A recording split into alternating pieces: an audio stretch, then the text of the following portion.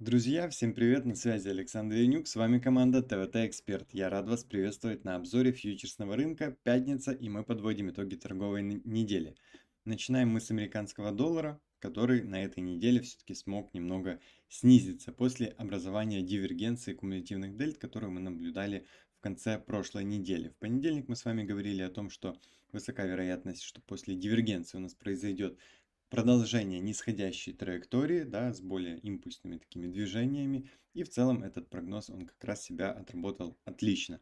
После выхода статистических данных по поводу рынка труда, по поводу PMI э, в Штатах, который PMI дико снижается, предварительные ну, данные о рынке труда от ADP очень крутые, и, соответственно, это все а, повышает вероятность того, что в ближайшее время начнут печатать деньги для того, чтобы стимулировать экономику, так как она уже несколько месяцев подряд замедляется потихоньку, особенно сектор промышленности. То, что сектор услуг еще немного держится, это, конечно, хорошо, но скоро и он нырнет под отметку 50. Таким образом, э, рынки уже предвкушают то, что снова включится под каким-то предлогом печатный станок, и таким образом американский доллар будет терять своей ценности на международном рынке. Поэтому мы видим такое агрессивную, такую резкую реакцию на новости. Европейская валюта, в свою очередь, достигла цели уровень объема за март 2023 года, да, успешно ее тестировала, и после выхода красивых, четких данных по э, экономике штатов, мы видим яркую яркий отскок. Интересно будет понаблюдать за данными о отчетов. Э, фонды участвовали в этом или нет, но, к сожалению, это мы узнаем только уже в следующую э, пятницу. Да?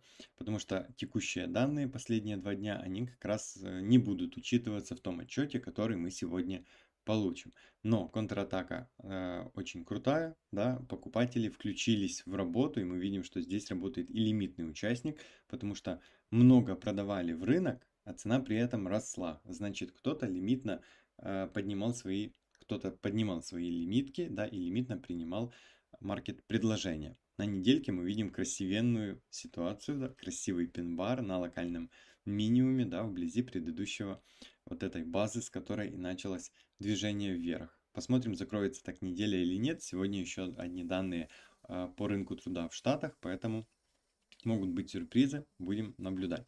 Швейцарский франк. В понедельник мы с вами говорили о том, э, это евро, да. По евро была идея э, боковика и достижения верхней границы, э, верхнего уровня объема. К этой цели идем.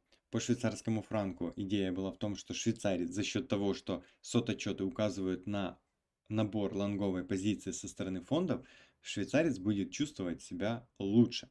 Да, то есть он будет падать меньше, обновлять минимумы меньше и двигаться более ярче вверх. И вот как раз у нас и произошла вот эта ситуация, которую я рисовал. Да, э, сформировали красивую контратаку, сформировали ситуацию, где есть смысл рассмотреть спекулятивную и среднесрочную лонг-позицию и на текущий момент продолжается отработка. Здесь ближайшая цель находится в районе отметки 1.1150, так как это место, где как раз у нас и началась э, в предыдущий раз э, дивергенция кумулятивных дельт, это первое, и э, реакцию покупателей на этот уровень мы также видели. По поводу контратаки. Это будет вашим домашним заданием. Да, рассмотреть те инструменты, которые хорошо развернулись, либо вот-вот разворачиваются, на наличие вот такой ситуации. Смотрите, на самом минимуме у нас образовывается свеча в виде пин-бара с большим объемом в нижней части свечи. Ну, понятное дело, что в нижней, потому что в теле здесь практически ничего нет. Вот, давайте рассмотрим конкретно эту свечу. Если мы откроем 5-минутный график и рассмотрим этот промежуток времени, вот он тут закончился в 21.00 по моему времени. И э, что мы видим? Что с начала этого таймфрейма у нас сначала больше продавали, цена опускалась, больше покупали в локальный максимум, цена поднималась. Все окей. Ну и дальше задавили продажами, цену опустили, но дальнейшие продажи как мы видим, не приводили к тому, потому что здесь дельта уходит еще больше в отрицательную область. Но эти продажи не приводили к тому, что цена снижалась, она наоборот росла. Значит, кто-то лимитно поднимал свою цену э, и принимал все продажи на себя, таким образом накапливая себе лонговую позицию.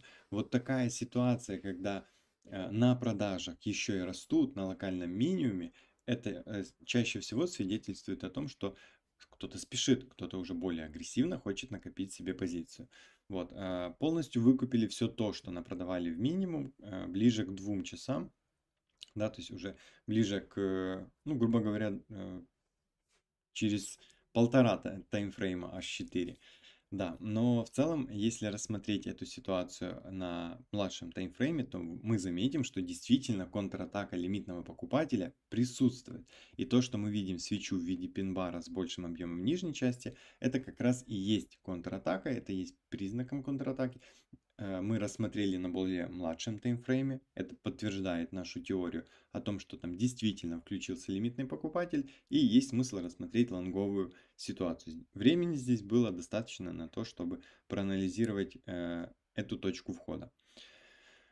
Так, э, поэтому пока жду отработку. Дальше у нас австралийский доллар. По австралийскому доллару также импульсное движение на фоне падения американского доллара. Здесь я рекомендую вам самостоятельно рассмотреть э, вот эту ситуацию, которая произошла в то же самое время, как раз после выхода данных, после выхода новостей. Каждая из, из ситуаций, евро, э, вот эта ситуация, да, австралийский доллар, новозеландский доллар, швейцарский франк.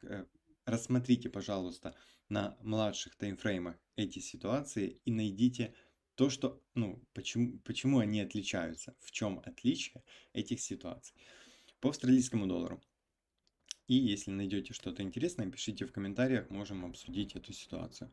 Потому что каждая ситуация не повторяется, если что. А, по австралийскому доллару дивергенция на старшем таймфрейме у нас началась как раз вот в этот момент. А, я обозначил его кружочком, здесь, здесь было начало, ну и конец этой дивергенции. Дальше а, дельты уже начали двигаться синхронно. А, когда у нас появляется дивергенция, цена отклоняется в любую сторону, есть смысл как раз заходить на возврат к этой области. Но в данном случае зазор был не очень большим, здесь соотношение риск-прибыль точно 1 к 2 не получалось, как ни крути. Ну, разве что заходить где-то вот здесь, прям в минимум. Вот, поэтому второй вариант отработки этой торговой идеи – это закрепление выше уровня дивергенции. Да, то есть после того, как цена отклонилась, мы вышли, закрепились выше, есть смысл э, работать на продолжение. Куда здесь стоп? Под локальный минимум, под минимум этой дивергенции. Вот таким образом у нас получается огромный стоп и достаточно непонятные перспективы, потому что даже при достижении верхней границы предыдущей лимитной активности, области лимитной активности, здесь как раз там 1 к 1,5 получается. Вот, соответственно, есть смысл вести эту позицию таки, ну, как вариант таким образом. Взять небольшую часть позиции, а, если цена даст снижение, то добрать. А, при этом стоп у нас не меняется, он под локальный минимум, даже можно не под локальный, вот где-то сюда, потому что если сюда уже дойдут, э, дивергенцию пройдут, то с большей вероятностью покатят еще ниже.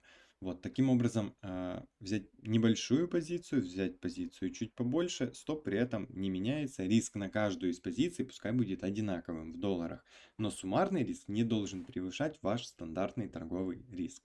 Вот таким образом получится а, в случае чего получить если снизится цена, отличное соотношение риск-прибыль, это первое. Если она просто пойдет вверх, ну окей, тогда немного заработается, но жаба уже душить не будет, что пропустили эту ситуацию.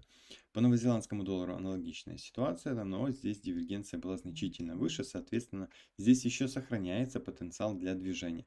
Первым сопротивлением будет сентябрь 22 уровень объема, и вторым это как раз цель, дивергенция, достижение этой дивергенции на старшем таймфрейме, если рассмотреть, то вот как раз вот в этом месте она начиналась. Мы видим, что по объему больше продавали, по количеству больше покупали.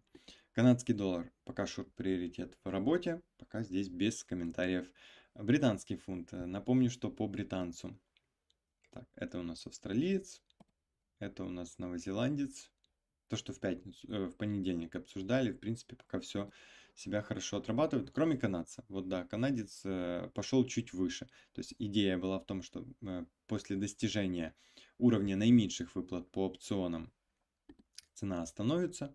Здесь, как вы видите, прошили этот уровень, прошили и уровень объема за июнь 2019 года и закрепились выше этого уровня, выше этой отметки.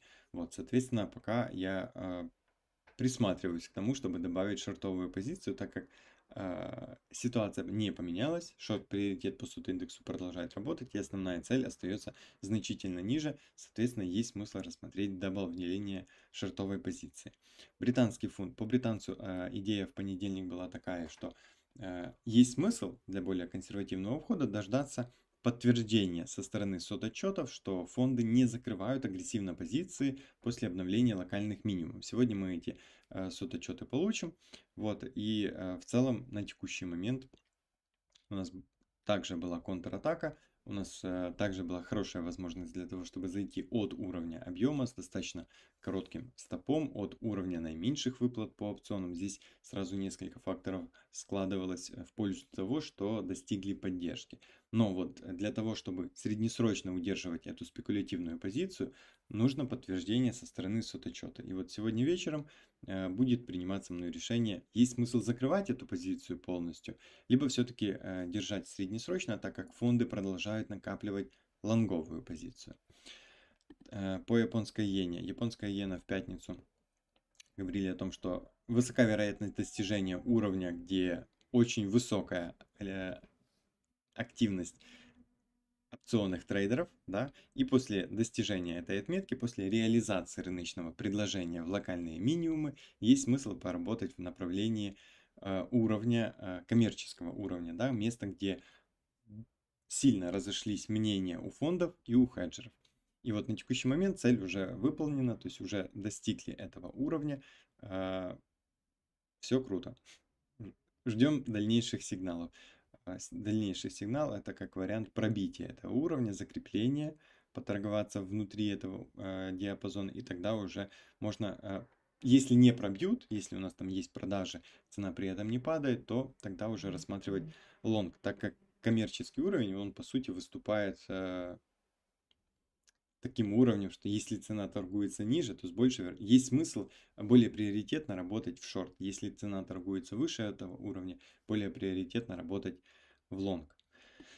Так, по поводу криптовалют по чуть-чуть снижаются, здесь все окей, а, но если все-таки ожидания рынка по поводу э, печатания денег усилятся, то и крипта в этом плане будет чувствовать себя чуть лучше. Но на неделе достигали отметки 20 5 с хвостиком на спот рынке. То есть э, провал был ниже отметки.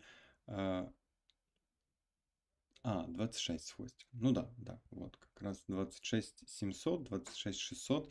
В эту, э, в эту область э, проваливалась цена, пока более глубокого падения пока что еще не было. Но основная цель это по падению 25 500, 25 в этом диапазоне больше всего активности лимитных покупателей, больше всего отложенного спроса находится. Золото пока без изменений. А, среднесрочные лонг-позиции только после а, тестирования уровня объема за апрель 2022 года. Это отметка 1900. Нефть без изменений. Торговля в боковике. Все, что выше отметки 74, есть смысл сбрасывать лонги, да, редюсить лонги. Все, что ниже, есть смысл плавно накапливать. И, в принципе, я эту сетку не меняю уже несколько месяцев. Поэтому надеюсь, что еще несколько месяцев не буду менять. По пшеничке. Да, э, по пшенице тоже день закрылся отлично в виде пин-бара с большим объемом в нижней части свечи, потому что тело очень маленькое. Если рассмотреть на более младшем таймфрейме, то мы видим, что с начала дня здесь продавали и цена снижалась. Все логично. Дальше продажи усилились, цена снижается, все логично. Дальше продажи стабильны, здесь э, баланс между покупателем и продавцом, и после этого у нас включается покупатель на локальном минимуме, при этом выкупает все то, что наторгова... ну, напродавали э, за целый день, все вот это, что напродавали, он выкупает достаточно быстро, закрепляет цену выше области, где у нас усилились продажи, удерживает ее некоторое время, ну, потому что там продажи в любом случае еще были, кто-то работал по тенденции в направлении нисходящей тенденции. Таким образом, э, формировалось предложение в рынке, а кто-то лимит на это все подкупал. И не только лимит, но еще и маркетами. Мы видим, что дальше дельта снова начала расти. То есть это место завершения контратаки. Вот в этом месте, вот тут мы уже можем констатировать, что Окей, контратака произошла. И дальше уже присоединяться к потенциальному восходящему движению. На тот момент еще непонятно, это будет восходящее движение или нет, потому что в таком месте оно кажется все э, слишком пессимистично, что дальше будет падение. Но контратака произошла. А, посмотрим, к чему она приведет. На более старшем таймфрейме мы видим, что а, основное сопротивление находится вблизи отметки 650. И там, скорее всего, у нас появится шорт-приоритет по сот-индексу. Поэтому посмотрим, удастся ли словить этот нож, так как э, пшеница падает последние несколько месяцев достаточно агрессивно. И по сути это вход в минимум текущего движения. А, фондовые рынки тоже пока без изменений. Я считаю, что основные драйверы, они уже в цене. И то, что там договорятся, не договорятся, подпишут, не подпишут, поднимать ставку, не поднимать, это все уже в цене. Участники рынка сделали свои предположения, свои ставки, грубо говоря. Вот. И я считаю, что текущий весь позитив, который возможен, он уже заложен в цену, так как рынки чаще всего любят закладывать более позитивные сценарии на самом деле, чем они будут на самом деле. И поэтому шорт-приоритет по соту по S&P у меня сохраняется. Технологический сектор я пока не лезу, там моментум достаточно сильный, но, как мы видим, фонды по чуть-чуть сбрасывают свою лонговую позицию и все больше накатывают шортовую позицию. Давайте теперь спреды. По поводу спредов. Фондовые индексы здесь пока без изменений. Все двигается максимально синхронно, кроме NASDAQ, который немного выбился. По облигациям тоже достигли, э, достигли поддержки в виде уровня технического уровня, на самом деле. Возможно, здесь и уровень объема был, так как у нас до этого несколько раз здесь неплохие объемы приторговывались. Э, в понедельник мы с вами отмечали высокую активность покупателей количеством, да, которые в конце прошлой недели залетели здесь. И на текущий момент цена закрепилась выше этой области, выше области всплеска интереса. Вот, посмотрим, к чему это приведет, но пока среднесрочные лонги по этому инструменту я продолжаю держать. И в целом высокая вероятность того, что в ближайшее время ставку будут понижать. Это будет основным драйвером, который будет как раз и поднимать цену на этот инструмент. По поводу спредов валютных. Э, нефть, о, нефть, новозеландец против швейцарского франка продолжаю удерживать. Э, кон, так, канадец против японской иены я закрыл. И фунт против японской иены я тоже закрыл э, по достижению предела риска, так как британец в последнее время растет значительно быстрее, чем японская иена, но японская иена провалилась. Тоже неплохо. Соответственно, спред все-таки разошелся э, до отметки уровня стоп-ордера и пришлось закрывать эту позицию. Закрывал ее частями, да, э, при достижении закрыл часть, еще подождал, посмотрел, что все-таки фунт перформит значительно лучше и закрыл уже всю позицию. А, последних два месяца японская иена немного испортила статистику.